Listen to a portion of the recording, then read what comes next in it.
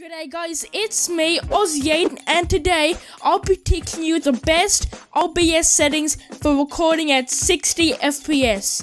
So let's just get on with it. So first what you need to do is download OBS Studio. You silly. What are you gonna do? Change the Windows Movie Maker settings?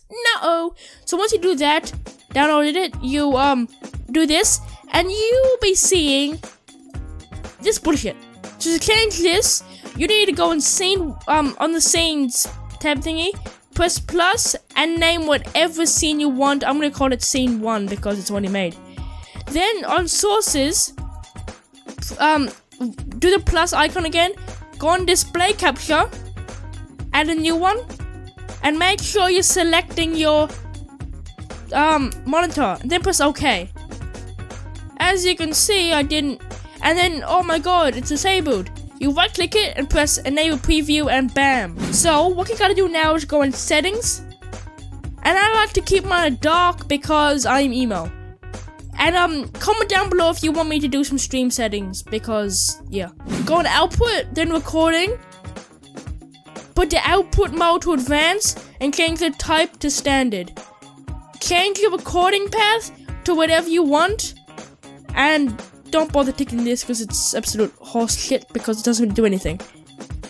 The reason why I can't do anything is because I'm recording with OBS, so I can't do anything. Okay.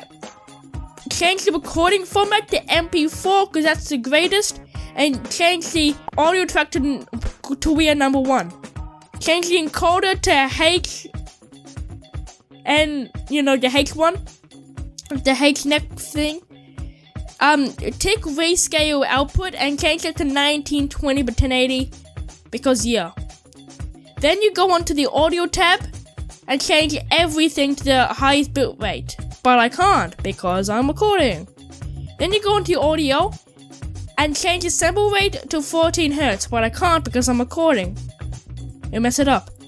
Then to record the like the audio, um like like the gameplay audio, Go on desktop audio device and change that to your speakers or headphones. If you wear your headphones all the time, do that. But if you sort of, yeah. Then if you, I don't recommend this, but if you're live streaming, do, do your microphone here, but since I don't want to, do like, use Audacity to record your audio, voice, because, yeah. Then you go onto video, and change these two to 1920 by 1080. I can't change it because I'm recording. Then on downscale filter, you change this one. So change the common values to 60 FPS. I can't because I'm recording. On hotkeys, you need to primarily focus on the stop and start recording.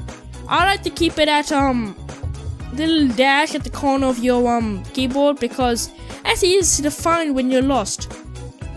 So I changed those two buttons because how are you supposed to record when you're recording again? Then on the process priority, change that to above normal because you want it to be above normal.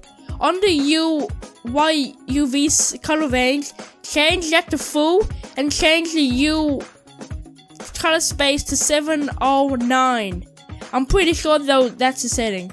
So that is the best settings recording at OBS, any game, browser, and all. So yeah, thank you guys for watching. If you liked it, don't forget to turn that like button and support the comments. And thank you so much for 180, 180 subscribers. Google from the gaming Google.